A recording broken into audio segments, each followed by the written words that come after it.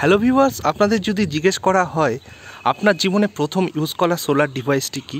আপনি হয়তো ভাববেন আপনার ছাদে ইনস্টল করা একটা সোলার প্যানেল। কিন্তু একদমই ভুল।